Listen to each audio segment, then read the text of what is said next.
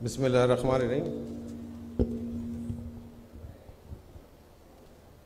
आप लोगों का सबका शुक्रिया और हमारे लाहौर के आवाम सुबह से बैठे हैं और इस दिलचस्पी से, इस दिलचस्पी से इस कॉन्फ्रेंस को सुन रहे हैं और मैं उम्मीद करता हूँ कि सिर्फ़ सुनेंगे नहीं, कुछ ना कुछ सीख कर यहाँ से जाएँगे।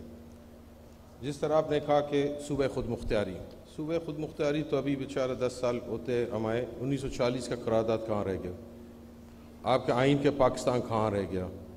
असल डिबेट ये है कि क्या वजह है कि हमने इनको इम्प्लीमेंट क्यों नहीं कर सका?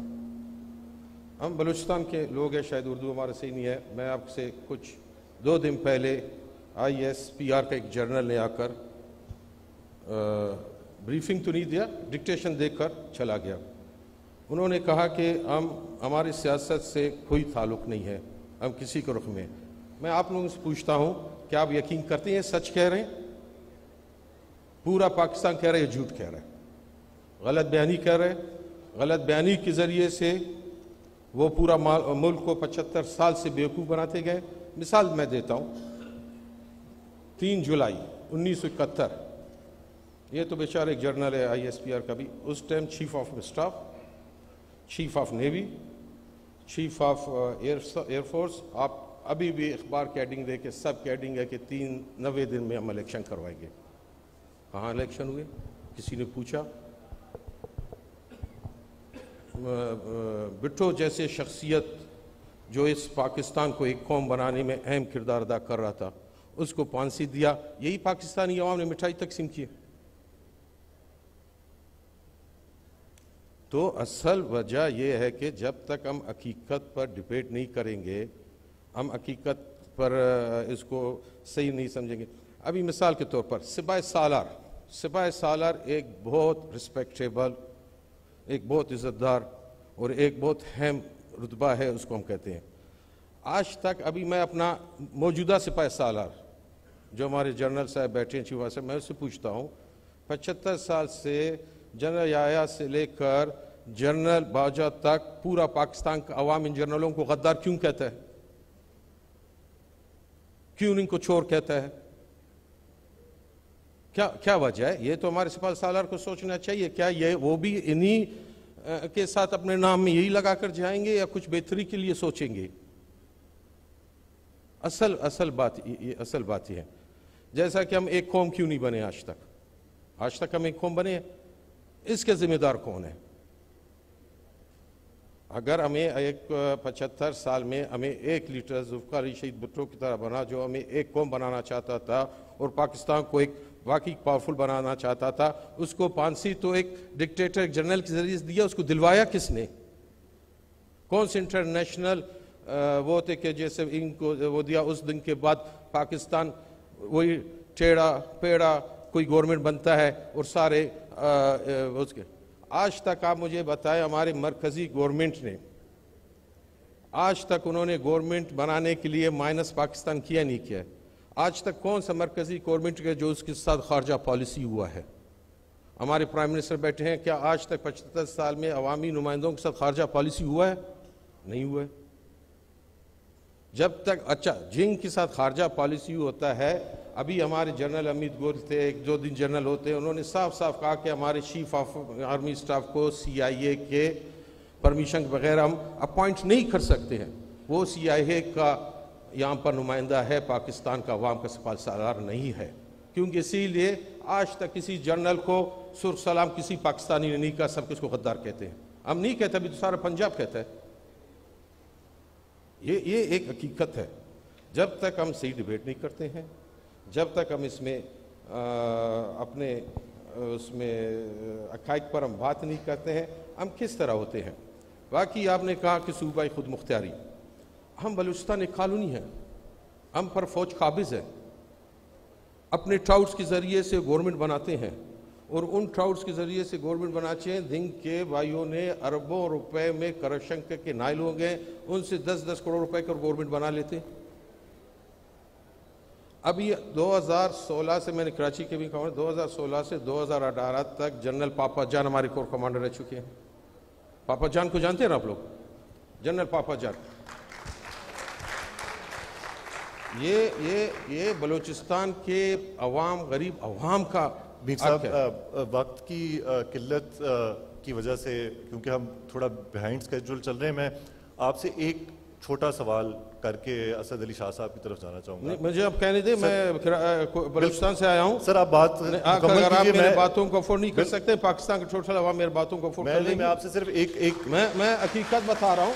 आप नहीं हम हम पाकिस्तान नहीं हम हम बूट पॉलिश करके अपना वक्त गुजारें या पाकिस्तान बनाने के लिए कुछ अकायद कुछ हकीकत पर बात करें? अरे आप आप बिल्कुल बात मुकम्मल कीजिए लेकिन मेरा सवाल ये मैं है मैं मैं यहाँ से छह घंटे से बैठा हूँ। अच्छा। सारे स्पीकर बीस बीस एक एक घंटा बात करें उनको आपने ट्रैप नहीं किया मुझे ट्रैप करें। अगर आप अफोर्ड नहीं करते हम किसी और को बिठाएँगे मैं तो अपने स्पीच कर लूँगा मेरे भाई। नहीं नहीं मैं तो बात करने दे रहा हूँ सर। नहीं आप तो इस तरह नहीं ट्रैप कर रहे मैं हम हम हम जले हुए हैं। हमारे साथ बलूचिस्तान के साथ वो वो है। मैं, आज मैं पंजाब में मैं बात कहता हूँ, आप लोग एक कौमी कमीशन बनाए। बलूचिस्तान आए।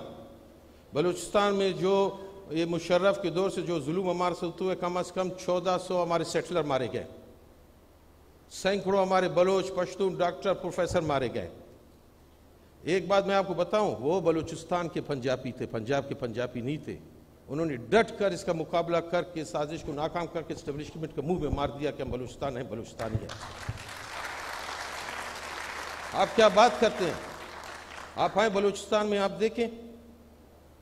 मैं मैं, मैंने कराची में अकाइक पर बात किया। पाँच दिन मेरे मेरे माइंस को उड़ाया गया। मेरे तीन लेबर ले गए। मुझसे मुझसे जो इस नंबर से पैसे लिए, मांग रहे मेरे स्टाफ से, वो पंजाब का एक औरत का नंबर है। बलूचिस्तान में। अगवा तावान के जो भी वसूली होता है, वो या साल सियालकोट का अकाउंट नंबर है, या पिंडी का अकाउंट नंबर है, या किसी और कच का नंबर है। ये क्या मज़ाक हमारे साथ सामने सामने हो रहे हैं? हम तो एक लावारिस, एक बैठे हुए आज मैं यकीन मैं दिल से कहता हूँ, मैं तहसील नाजिम रह चुका था, चौदह अगस्त हम लोग एक एक महीने से मनाते थे। आज आपका तरान पाकिस्तान होता है मुनाफक नहीं करता, मैं मजबूरी से खड़ा हुआ से नहीं खड़ा हुआ। मैं हकीकत कह रहा हूँ। हम हकीकत की बात करते हैं गद्दार बनते हैं।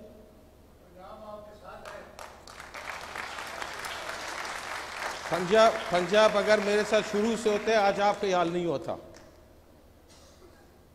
और अगर हकीकत पर हम बात नहीं करेंगे, हकीकत पर हम डिबेट नहीं करेंगे, हम पाकिस्तान को रिकन किस तरह बनाएँगे?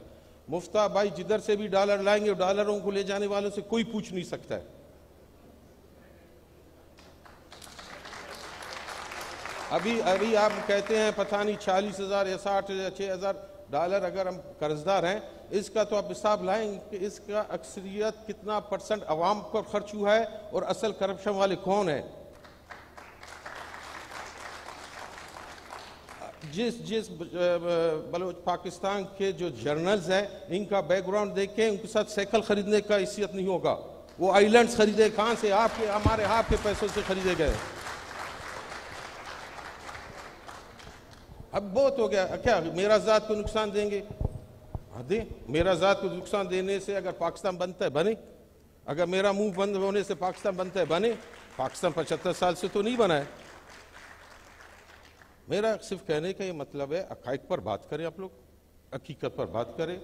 मुतहद मुतफिक होकर एक लोगो पाकिस्तान का अवाम का एंटी स्टेब्लिशमेंट प्रो पाकिस्तान।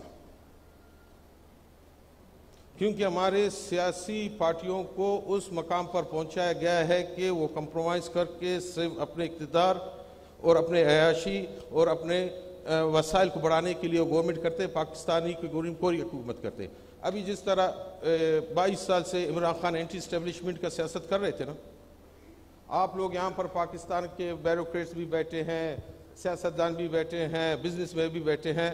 पहली कुछ थोड़ा बहुत पाकिस्तान के प्राइम मिनिस्टर को एज अ मेयर एडमिनिस्ट्रेशन का इख्तियार होता था, कुछ ना कुछ। ये उसने, ये वो भी उनका खाते में डाल दिया। बिजनेसमैनों से उनका उठना बैठना इकॉनमी पर वो वो कर रहे हैं, हर चीज़ में वो सॉलिसी कर रहे हैं। इस तरह तो नहीं होता है। इकतदार के लिए अपने सारे पाकिस्तान अवाम को कुर्बान कर ले। अभी भी वो कहता है कि मुझे वापस गोद ले लो और पाकिस्तान का अवाम उसके पीछे जा रहा है। हमें समझ नहीं आता है।